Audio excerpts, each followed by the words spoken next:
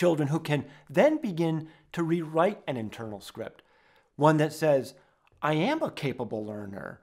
I, in fact, I like learning. I like trying to read because when I try to read with this reading teacher, I feel confident. I feel successful. I am learning.